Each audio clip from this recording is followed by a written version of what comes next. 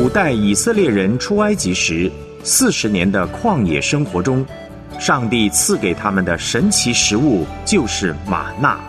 在二十一世纪的今天，上帝为属他的儿女预备的现代玛纳属天灵粮，就是圣经。神不仅能在旷野开道路，更贴心的为他的百姓预备属天灵粮。邀请您带着承接恩典的器皿，领取今日新鲜的旷野玛纳。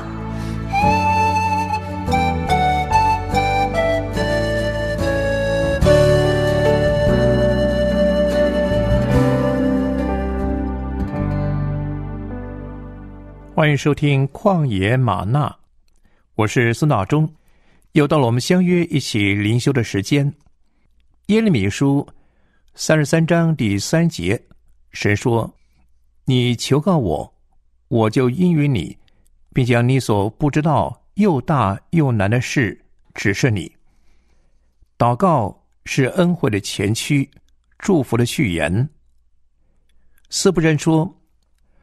我们翻阅教会历史，看见神给这世界的每一个大恩惠之前，都有祷告开路。祷告是一个人心灵最崇高的活动，是在这个人们企图把神排除在外的世界上，谦卑承认我们需要神，是神为我们预备的有力的恩典，能把神的能力从天上带到地上来，所以。永远要学习正确的祷告。今天我们要思想的灵修题目是正确的祷告。我们要读的经文在旧约生命记四章二十九到四十节。生命记第四章二十九到四十节，请预备好您的圣经。我们先来听一首诗歌，《祷告良辰》。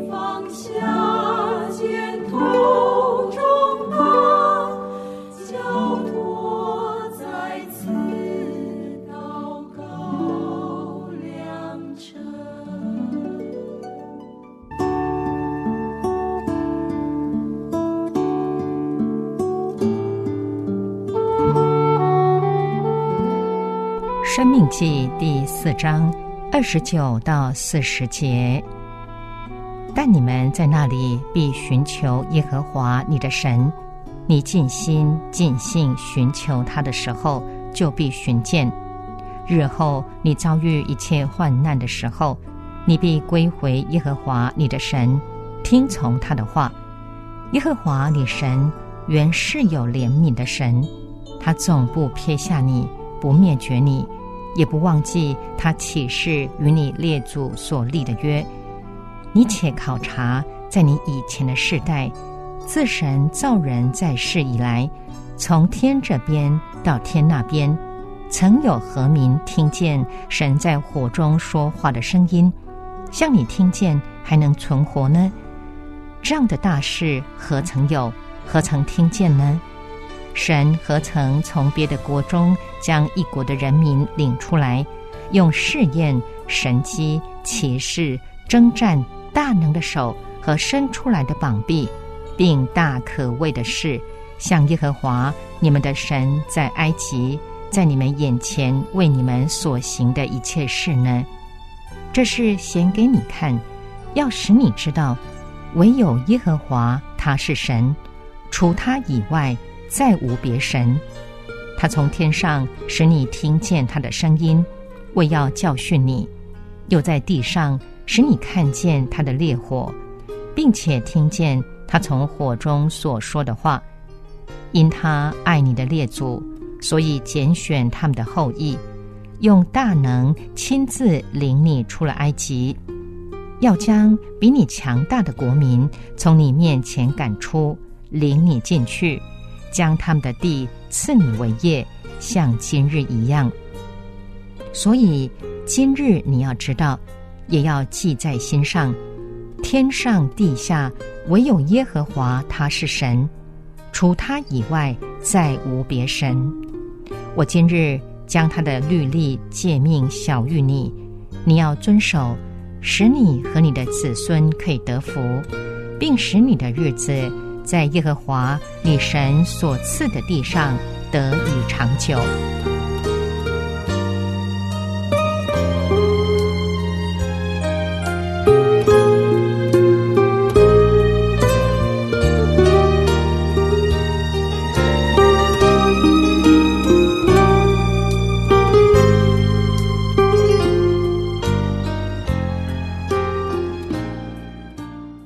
上是今天的灵修经文，《生命记》四章二十九到四十节。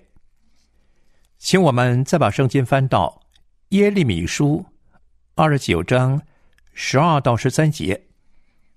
耶利米书二十九章十二到十三节经文说道：“你们要呼求我，祷告我，我就应允你们；你们寻求我。”若专心寻求我，就必寻见。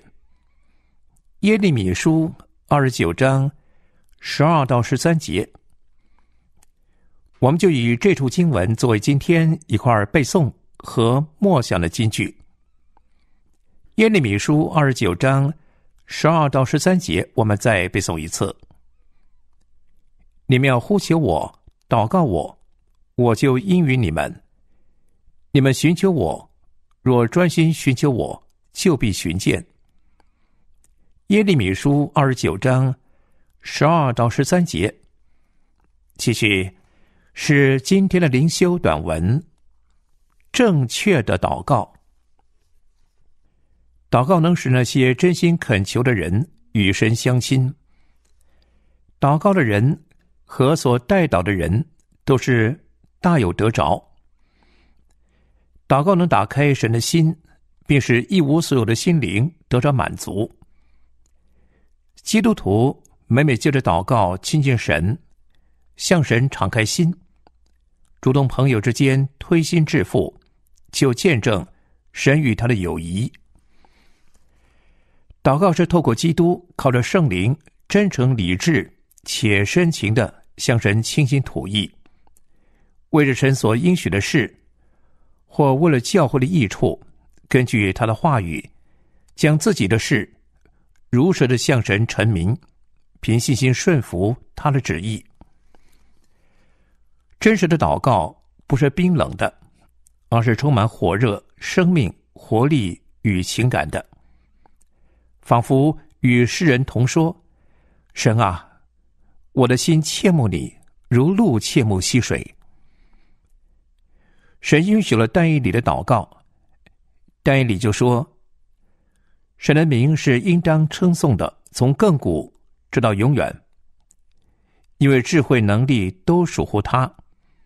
他改变事后日期，废王立王，将智慧赐予智慧人，将知识赐予聪明人，他写明深奥隐秘的事，知道暗中所有的光明也与他同居。但以理并祷告说：“我列祖的神啊，我感谢你，赞美你，因你将智慧才能赐给我，允准我们所求的，把王的事给我们指明。”热切的祷告是全人投入，以至于他的祷告蒙垂听。他也从与基督相交的经历中得安慰。圣徒宁愿失去生命，也不愿失去这项祝福。人心若如此祷告，便会看到世上万事皆是虚空。唯有在神那里，才心灵能得到安息与满足。祷告是顺服神的旨意，按着神的旨意祷告，让我们在祷告中大有信心。越知道，我们若照他的旨意求什么，他就听我们。这是我们向他所存坦然无惧的心。顺服神的最高旨意，善尽我的最高职责。你明白上帝的最高旨意吗？每天坚持收听《旷野玛纳》，与孙大中一起灵修，完成神托付你生命中的最高职责。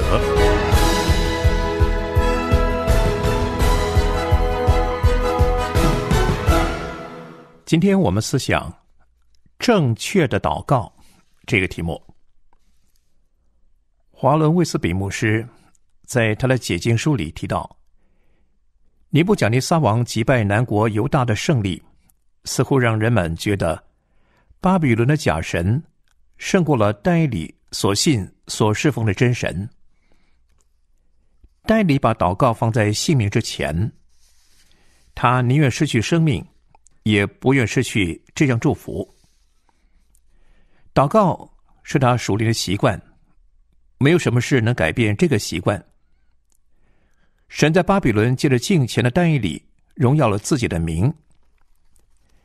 丹以理书第二章记载，尼布甲尼撒王做了梦，心里烦乱，不能睡觉。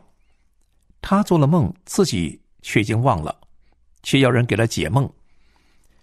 任谁也没有办法，因为连他自己都不记得做了什么梦，也因为没有人能讲解他的梦，他就气愤愤的大发烈怒。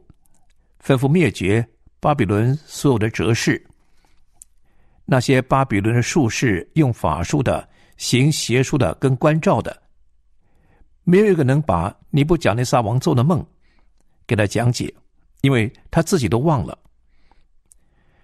但以理知道巴比伦所有的哲士即将被灭绝，就进去求王宽限，说他可以把那梦的意思为王讲解。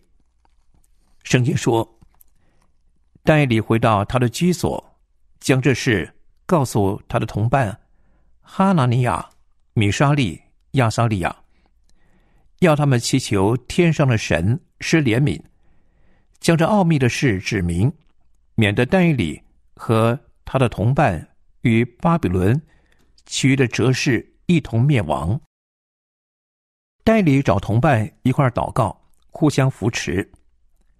他们警醒祷告，专心祷告，并且是竭力的祷告。这场被掳之地的祷告会非常有果效。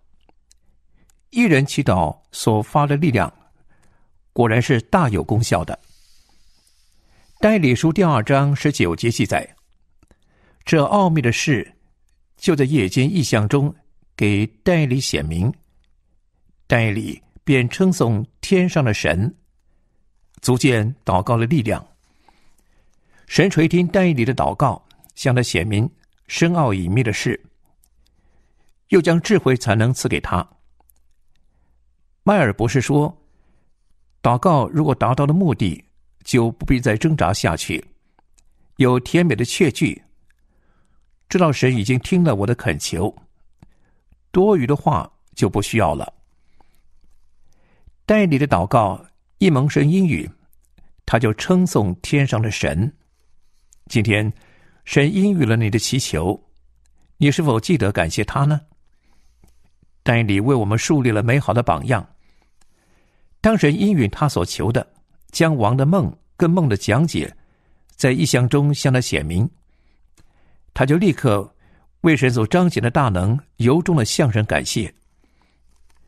我们来看但以理的感恩，但以理书二章二十到二十三节，但以理说：“神的名是应当称颂的，从亘古直到永远，因为智慧能力都属乎他。”他改变时候日期，废王立王，将智慧赐予智慧人，将知识赐予聪明人。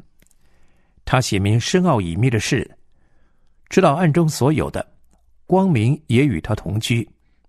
我列祖的神啊，我感谢你，赞美你，因你将智慧才能赐给我，允准我们所求的，把王的事给我们指明。以后代理。来到尼布甲尼撒王面前为王解梦，他就首先称颂神的智慧跟全能，宣告他所信的是拥有最高全能的神。代理说二章二十八节，代理对王说：“只有一位在天上的神能显明奥秘的事。”接着说出了尼布甲尼撒王他所做的梦，并且给王解释那梦。圣经说。当时，尼布甲尼撒王俯伏在地，向代理下拜，并且吩咐人给他奉上贡物和香品。王对代理说：“你既能写明这奥秘的事，你们的神诚然是万神之神，万王之主，又是写明奥秘事的。承认代理所信的神是万神之神，万王之主。”当神把但以里的三个朋友从火窑里救出来之后，那些总督、钦差、巡抚和王的谋士一同聚集，看着三个人，见火无力伤他们的身体，头发也没有烧焦，衣裳也没有变色，并没有火燎了气味。尼布贾尼撒说：“沙德拉、米沙、亚伯尼哥的神是应当称颂的，并且降旨。”不许任何人毁谤沙德拉米沙亚伯尼哥的神。后来，尼布甲尼撒王自己被神惩罚，离开世人，与野地的兽同居，吃草如牛，直到日期满足，理智恢复过来。王就称颂至高者，赞美尊敬活到永远的神，说：“他的权柄是永有的，他的国存到万代。”代理书四章三十七节经文说：“现在我，尼布甲尼撒赞美、尊崇、恭敬天上的王，因为他所做的全都诚实，他所行的也都公平。那行动骄傲的，他能降为卑。代理脱离狮子坑之后，大理王降旨小玉他所统辖的全国人民。”要全国人民在代理的神面前战惊恐惧，说：“因为他是永远长存的活神，他的国永不败坏，他的权柄永存无极。神的名在外邦中被尊崇，大得荣耀。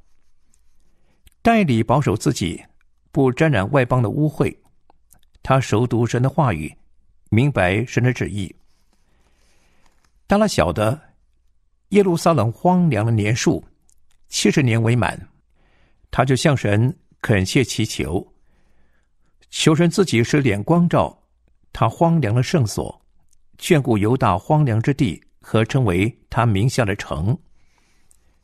丹里披麻蒙灰，尽是祷告，恳切祈求，求神应允而行，为自己不要迟延。因为这城跟这民都是称为主名下的，代理向神祈祷认罪。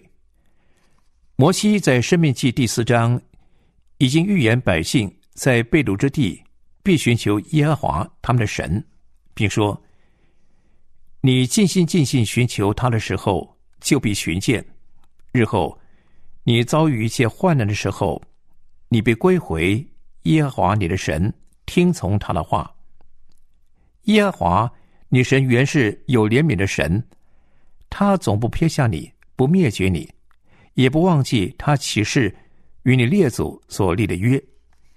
代理书九章四到十九节记载了代理很长的祷告。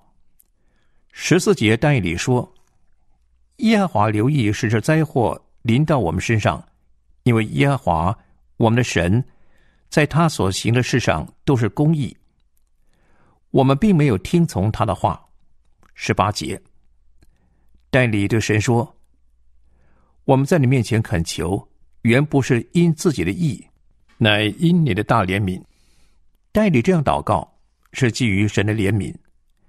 他知道，他是在向一位怜悯人的神祷告，他是顺服神的旨意，按着神的旨意祷告。因为这是神的旨意，所以代理在神面前坦然无惧，充满信心。神住在至高至圣的所在，也与心灵痛悔谦卑的人同居。他所要的祭，就是忧伤的灵。但以理书九章二十一节，但以理说：“我正祷告的时候，先前在异象中所见的那位加百列，奉命迅速飞来，约在献晚祭的时候，按手在我身上。神差天使加百列来加添但以理力量，并且告诉但以理，他在神面前是。”大蒙眷爱的，告诉但以理，当他开始恳求的时候，就有命令发出，所以千万不要低估神回应祷告的热情。以赛亚书六十五章二十四节，神说：“他们尚未求告，我就应允；正说话的时候，我就垂听。”有一年，穆迪在芝加哥布道的时候。邀请他的童工跟他一块祷告，一同求神立刻赐下六千美元的布道经费。他们长时间的恳求祷告，还跪在地上的时候，就人送来一封电报，上头写着：“北田的朋友们，感到你们在芝加哥的布道工作需要经费，我们就举行了一次捐款，共得六千元，不多不少。”正是他们祈求所需要的数字。诗篇三十四篇十五节，大卫说：“耶和华的眼目看顾一人，他的耳朵听他们的呼求。”是的，主的眼看顾一人，主的耳听他们的祈祷。敬畏他的，他必成就他们的心愿，也必听他们的呼求，拯救他们。祷告是照着神的启示的真理。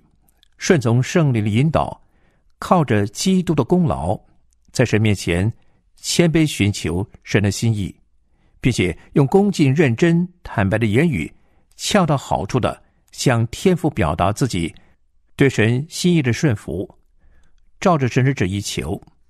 约翰说：“我们若照他的旨意求什么，他就听我们。”代理恳切祈求。果然，到了波斯王古列元年，耶和华为要应验借耶利米口所说的话，并回应代理的祷告，就激动波斯王古列的心，使他愿意下诏通告全国，让被掳的犹太人可以重新归回故土。在诗篇里边，我们读到，当耶和华将那些被掳的带回西安的时候，他们好像做梦的人。神让他们被掳的人归回，好像南地的河水复流。诗篇六十六篇二十节，诗人说：“神是一当称颂的，他并没有推却我的祷告，也没有叫他的慈爱离开我。”保罗说：“应当一无挂虑，只要凡事借着祷告、祈求和感谢，将你们所要的告诉神。祷告不是单位的祈求。”更是为了深化跟神之间的关系，不是因为无事不登三宝殿，有事才来，那是因为心里切慕神，为自己向神求，这不是交通，以神为乐才是交通。因为是交通，我们的祷告是否充满火热、生命、活力跟情感呢？还是冷冰冰的、茫然的。记得一位古代的神学家说过：“冰冷的祷告求的是拒绝，与祷告的目标同等必要的是要有为达成目标所需要的强烈愿望。若是你自己心里都不急，神急什么呢？”听一个人的祷告，可以知道他的灵性光景，因为祷告不是一项活动，乃是生命。祈祷出来的能力。这本书的作者邦兹说：“不可能没有热忱而有真正的祈祷。反过来说，不可能对神有真正的热忱而不祷告，因为祷告就是生命。”美国大布道家葛培林牧师之所以能够被神重用，因为他对神充满热忱，有时甚至就在众人面前、大庭广众之下。他就跪下祷告，他不在意别人的眼光，只在意跟神的关系。祷告不一定能改变我们的处境，但一定改变我们。神爱我们，他早已经把我们所求的预备好了。我们有没有表现出对他浓烈的爱呢？缺少属灵的期待，神就不会显出他的荣耀来给我们看。我们一起祷告。主啊，众圣徒的祈祷如香陈列在你面前，何等令你的心欢喜！热切的祷告不但蒙神垂听，我们也在与你的相交中大得安慰。你在父的右边为我们祈求，清心的人有福了，他们常能与你面对面。你已经拣选不拜偶像的虔诚人归你自己。又把施恩叫人恳求的圣灵浇灌下来，使我们意识要祷告，并且非常看重祷告。你是用荣耀自己的方式来满足我们的需要。你要我们学会正确的祷告，靠着圣灵，随时多方祷告祈求，警醒不倦的为众圣徒祈求。主啊，什么时候我们不祷告，忽略要祷告？灵里松懈就没有能力，因为祷告就是生命。代理大蒙你的眷爱，一生充满能力，被你重用。因为一日三次，他双膝跪在你面前，从来没有改变。你看重一切求告你名的人，你的眼目遍察全地，要显大能帮助向你心存诚实的人。求主建立我们的祷告生活，使我们更多的亲近你。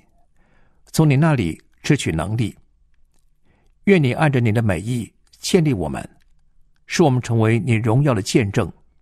祷告祈求，奉耶稣基督的圣名，阿门。我是苏闹中，下次节目时间空中再会，愿神赐福给您。